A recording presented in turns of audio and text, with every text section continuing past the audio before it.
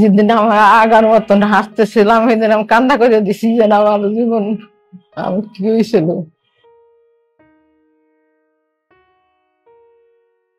আসসালাম আলাইকুম, আমার নাম হাফেজা আমার বয়স সত্তর। আমি আইছি হলো লবগঞ্জ থানাতে গত তিন মাস আগে আমি স্টোভ করছিলাম।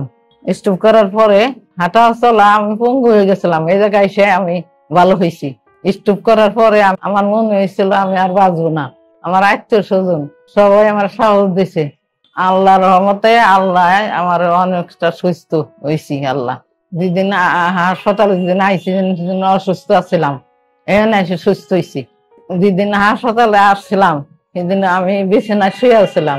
হাঁটাচলা করতে পারিনি বিছানা হাগামতা করছি করছি। আমার এই জায়গায় সে আমি ভালোই উপকার হয়েছে আমার। আমি চলতে ফিরে পারি। আমি এখন হাঁটতে পারি, সন্ধে করে কথা বলতে পারি, হাত নাড়াইতে পারি আমি, নিজে নিজে বাথরুমে যাই পারি, বিছানা আমি উঠতে পারি, শুইতে পারি। জীবনে আমি কল্পনা করি নেই এই জন্য আমি এত তাড়াতাড়ি সুস্থ আল্লাহ রহমত, আল্লাহর রহমতে আমি সুস্থ হয়ে গেছি।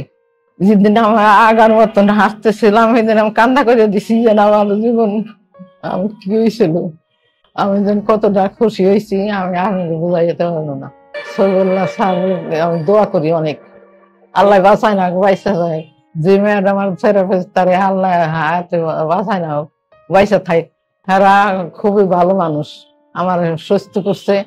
হাসপাতালটা খুবই ভালো লাগছে আমার। অনেক প্রত্যেকটা মানুষ খুবই ভালো। চিকিৎসা খুবই উন্নত। আমার ছেলে মেয়েদের নিয়ে সবাই দোয়া করবেন। আমার অসুস্থ পিছনে আমার অনেক খাচ্ছে খাচ্ছে দিয়ে আমি ভালো হয়েছি।